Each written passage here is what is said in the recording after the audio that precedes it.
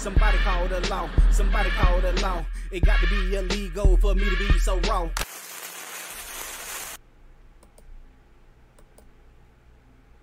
What up, though? Heist Man Da Foe talk that talk, ghetto news and opinions. Man, these are the stories that happened last week on Earth. Thank you for coming through and joining me again, man. We got to talk about the things happened last week on Earth, man. First of all, oh boy was I right. When I say I'm right, I was right.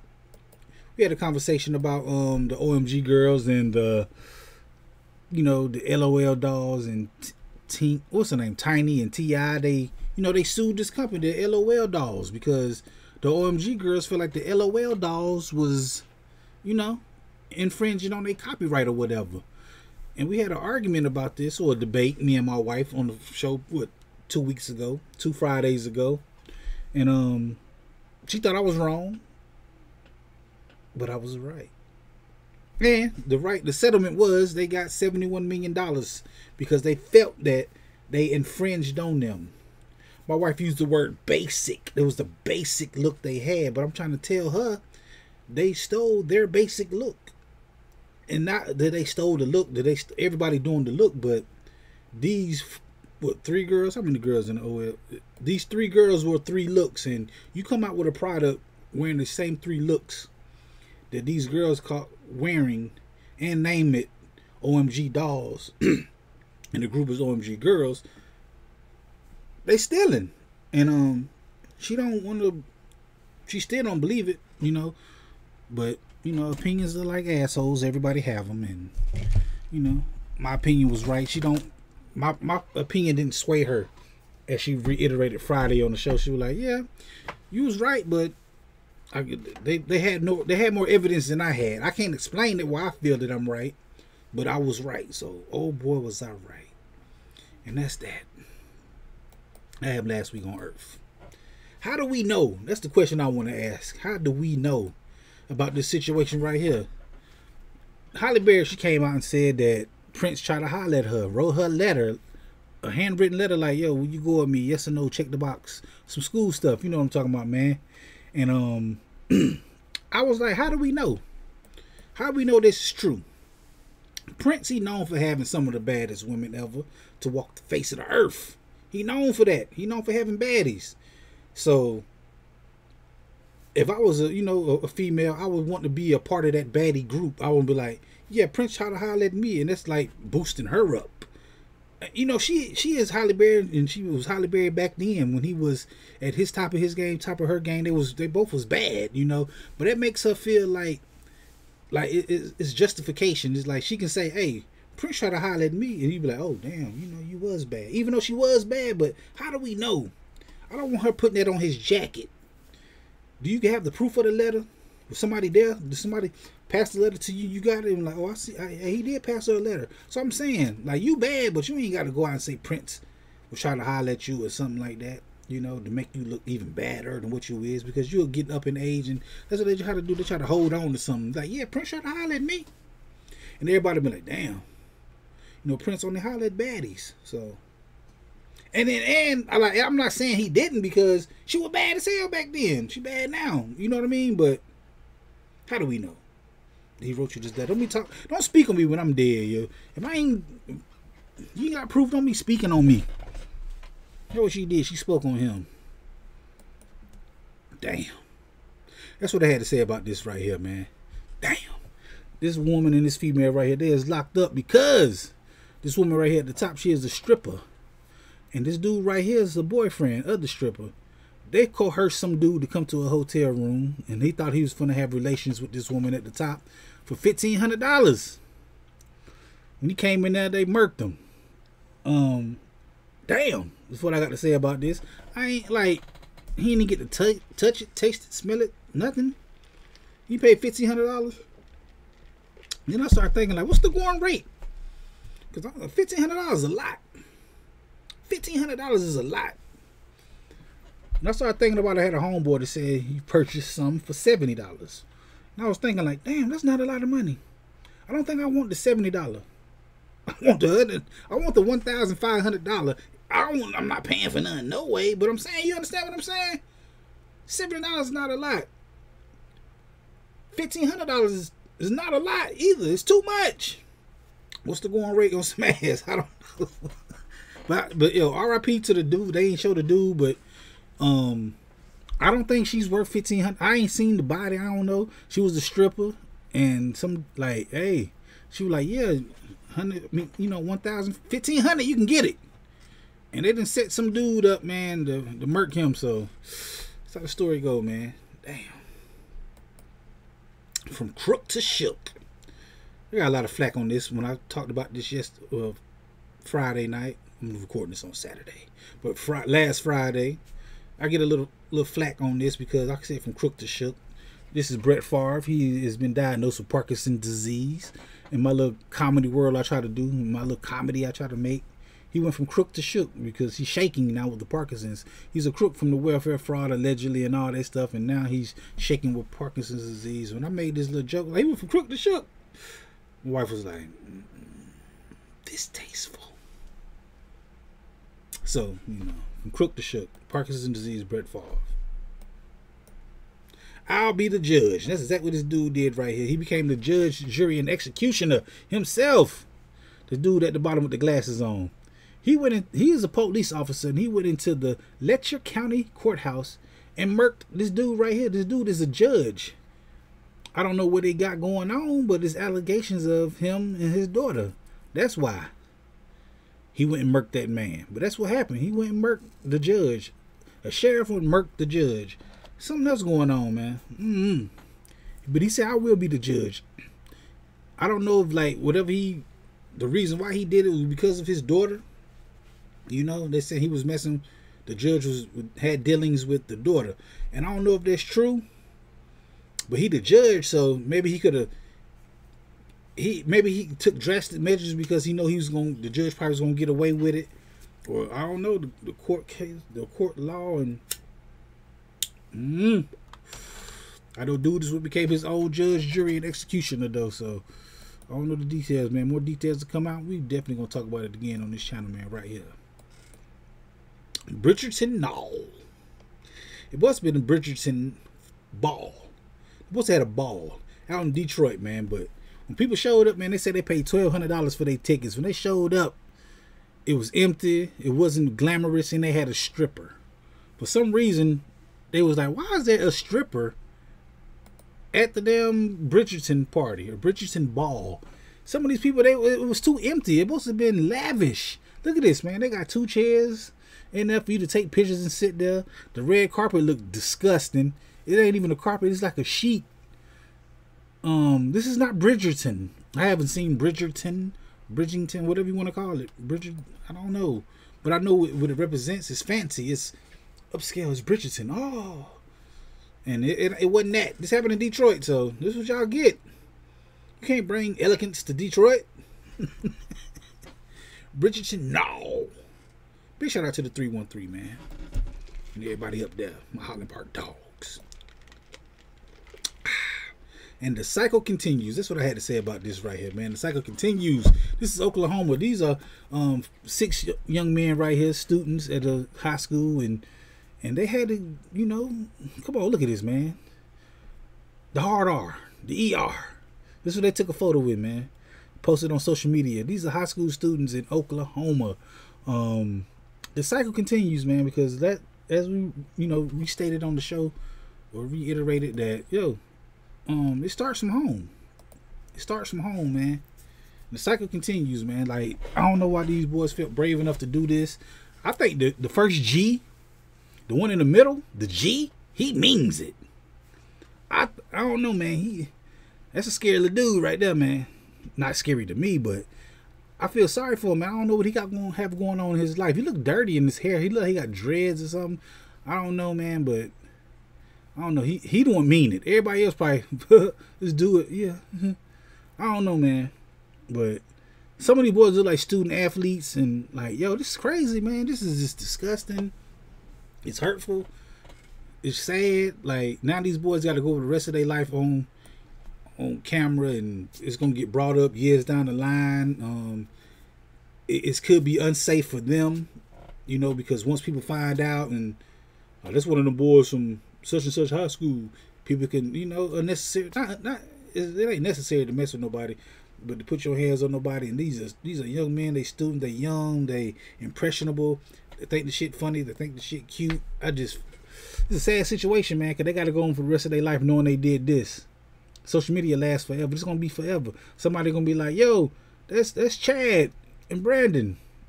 Remember that?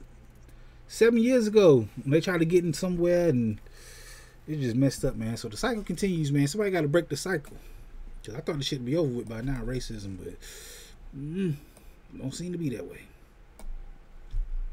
This woman right here going to hell, going to hell on wheels to be exact.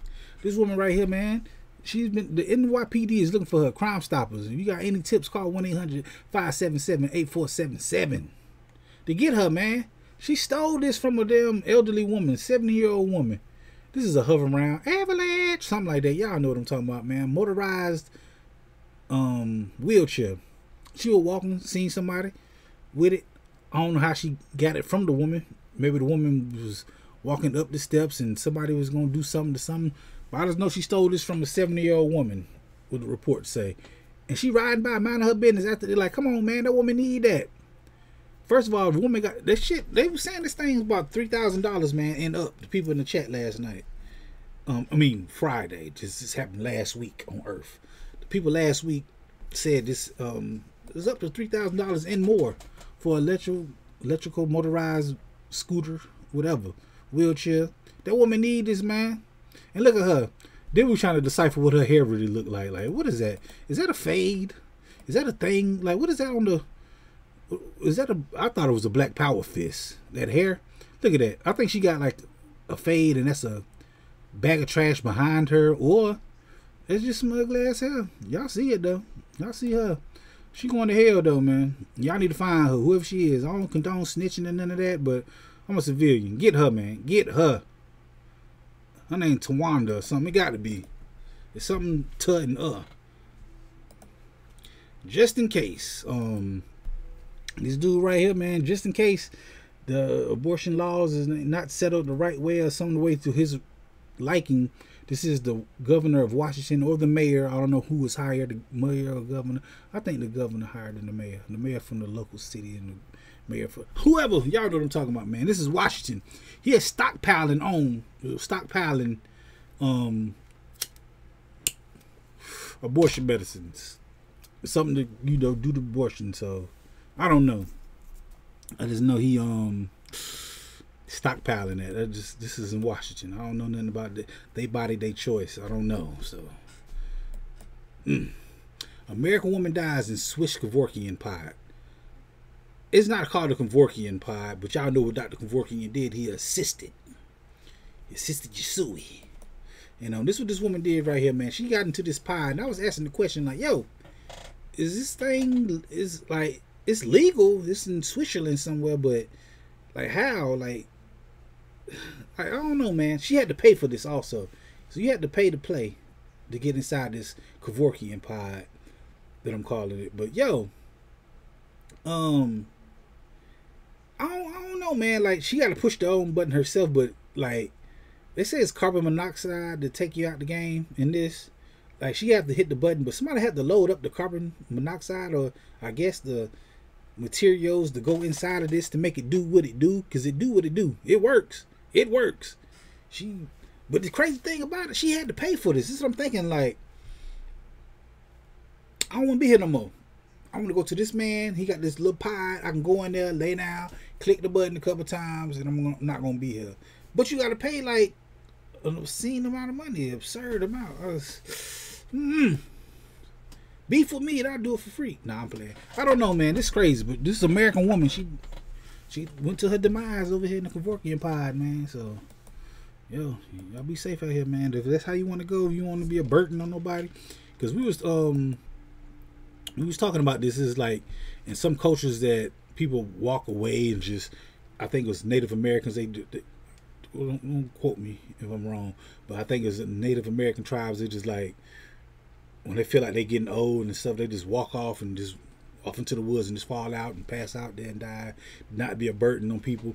Um, I think that the movie Midsommar was brought up how people get on this top of this mountain, and just jump, leap to your doom, leap to your doom, like on Power Rangers movie. I watch too much TV, man. All right, we'll see. So y'all know, eat that, eat that. they saying, um, what's my man name? Puff Daddy. They say Puff Daddy did it, did it, did it, not. They say he not eating in prison because he's scared he's gonna get poisoned. He's on Suey watch. He on Suey see Suey. I don't want to say it, man, because you know the parameters of YouTube don't want you to say certain things, but y'all know what I'm talking about.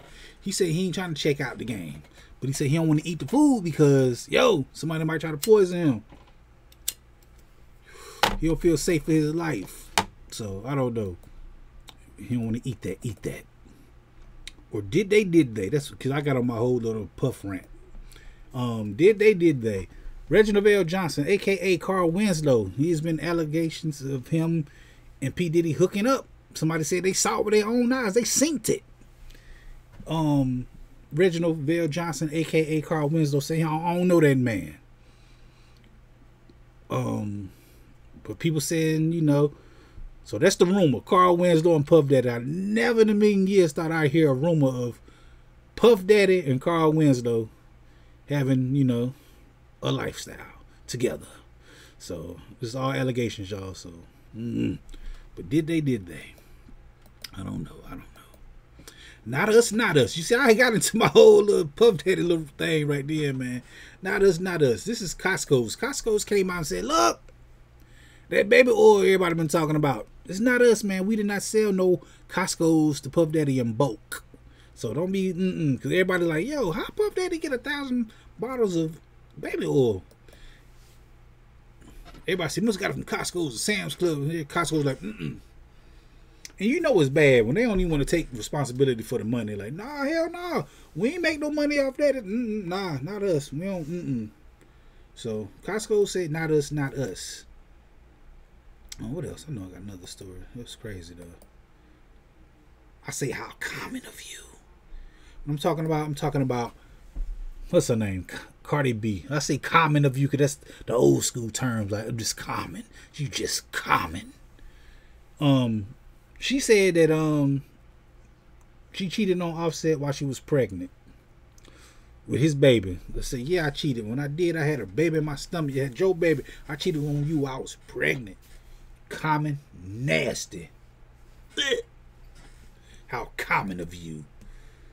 Um, he got his dirt too. He be doing this thing too. I don't know. That's their relationship, whatever. But I just think you just, ugh. So you gonna just because you hurt, you gonna go hurt him. And say, oh, I'm a cheat, and I'm a cheat while I'm pregnant. You just, you just, ugh. You can't wait to get it out, heal up, and fuck on his friends or something. Nah, I'm gonna do it while I'm pregnant. He gonna cry in the car, boy. Mm, mm, mm. That's crazy. I just think she need to get her heart broke. When I talk about this person right here, this is JoJo Siwa. JoJo Siwa, she's doing too much. Look at these photos right here, man. Um, I don't even want to hold them up too long, man. This she Lady Gun magazine, and I think like she trying to find herself. Like chill little girl, man. She growing up. She been the little fairy tale pop princess, bow rats and glitter and sparkles and stuff. And now she's getting older. Now she's you know, going through some shit. I don't think she need to get her heart broke. Tell you the truth, I think she need to get fucked over, get her heart broke, and, and come back. Just bring it down a peg because you you you searching for so much. That's how I feel. I feel like she's looking for something, and you just get your heart broke. You need to sit back on the couch and be like, I was tripping back then, yo. It, it, you know, some time will have to. That's what she needs, some time and a heartbreak. Cause she doing too much, man, you ain't got to. Mm-mm. You gotta do that, man. You ain't gotta. She want to be grown so bad. You know what I mean? That's what I feel like. I just feel like she want to be grown. Hold on, let me publish my cat video. I got a cat video I got to put out today. It's Catterday, y'all. I mean, oh, this last week. So yeah, I'm sorry. I'm over there putting out videos. She need to get her heart broke. Um, you're contagious. Touch me, baby. Give me what you got. And I spelled your wrong because when I looked this up, I just I looked up the song of Contagious, and I, I um screenshotted it, and so it's supposed to be apostrophe R E like your. I got that brought to my attention last night when I met. I mean, last week when I messed this up. But the story is is this right here. I ain't really like this story either, man. This is um Boosie Badazz. Boosie Badazz said he do not like his daughter. He don't want his daughter being around his other siblings. I mean her other siblings because she is a lesbian and he don't want her to be contaminate the other siblings. And that's why I said you're contagious. Like that's nasty, man. That's disgusting, yo. That's your child, man. And that's your and that's her brothers and sisters. You don't want your lesbian daughter around your other children because you don't want her behavior to contaminate the other ones. And I don't think that's fair, man. That, that's not a fair assessment, yo. It don't rub off. It ain't contagious, but that's still your kid. You can't you can't do your kids that way, bro. And I ain't like that. He say some outlandish shit all the time, Boosie Badazz. And I think that's probably one of the worst things he can say to his daughter. And he don't want her around. He don't want her and her girlfriend around his other, kids because it might contact. You don't you don't make them feel dirty and bad, yo. So you wrong for that, Boosie. Boosie Badazz. And last but not least, was it baby oil? Was it baby oil? With Puff Daddy, man. Um, all these allegations of Puff Daddy coming out doing his thing, doing his thug dizzle, whatever, whatever, whatever. But they saying it ain't baby oil inside them baby oil containers, man. They said some tango and cash type shit, some shit you can apply on your skin and it gets you euphoric and uh, uh, I don't know. Is it baby oil? He had 1,000 bottles of baby oil, and um, it was brought up to you know to my mental last night or last week. Everybody was like, "Yo," in the chat, they was like, "Yo, why they gonna confiscate the baby oil? Like, you see the baby oil, and okay."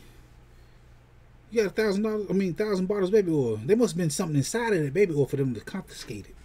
People were saying like, "Yo, I hope they didn't take that baby oil." You're like, "Oh shit, let me get one of these and take it to the crib." You know, because it's baby oil. Who don't need baby? I mean, I don't need baby oil. I don't wear lotion either that much.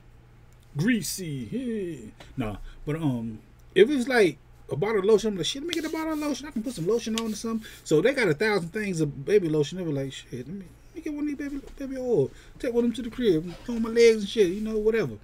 So we don't know, man, but hope that nobody take nothing home because it might not be baby oil. It might be some other stuff, man. It might be some other stuff inside of there, man. They say Puff Daddy a monster and all the kind of monstrous things he was doing, and for him to have that baby oil and you can squirt it on somebody and they get high or something, and that nigga was a monster. They said he had a tunnel under the grotto in his house, and I don't know, man. No, not no. That's crazy. Oh, this last one, I didn't get to the story last night. Wow. I didn't know I had another one. But Usher has to be stopped, yo. Usher Raymond has to be stopped. This is um Halle Bailey, Chloe Bailey, one of them, and their boyfriend, her husband, baby daddy, DDG. They had a concert and Usher tried to feed that man wife some damn strawberries, some cherries while on stage.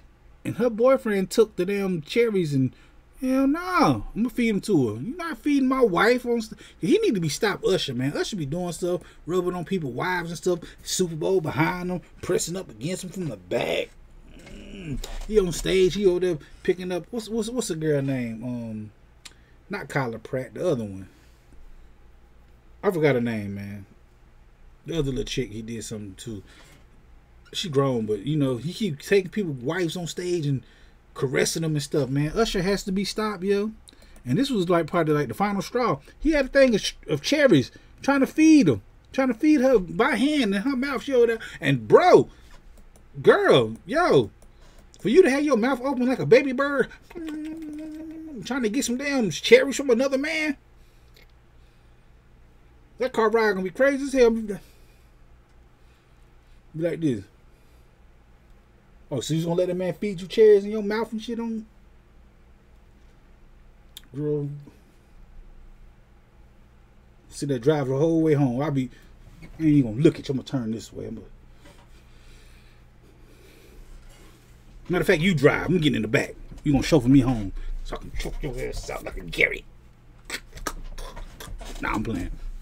Anyway, man, we have fun on this channel, man. I go live every Friday at 9 p.m. right here on this channel, man. We talk about stuff just like this. These are the things I talk about on Friday night, man, when I have my co-hosts with me, Preem Zill and Charlene Defoe. I have these people with me talking about these stories right here. But we have different takes on it. So that's why I do it again. So I can talk about things happened last week on Earth from my perspective. So it can I can be all right by myself. You see, they be trying to sway me in my opinion. Sometimes I'll be like, nah, I'm gonna stick to being the dummy that I am, the asshole jerk that I am. And I'm gonna be like, nah, they wrong, I'm right. So that's why I like doing this by myself. That's why I call it last week on Earth because all this stuff happened last week on Earth. But y'all can argue with me and get y'all opinions off y'all self on Friday nights right here on this channel when I do Minutes to the Future. And we talk about these same stories right here, man. So it's a it's it's a vibe, man. Come through and holler at us, man. We have fun every Friday night at 9 p.m. Man. Hit that like button, the comment button, the share button, the subscribe button, the notification bell. All them good buttons you gotta hit to get this pimping that I'm putting out when I put it out. Like I said, I go live every Friday at 9 p.m. Come through, join your boy Heist Man Da Foe. This has been last week on Earth.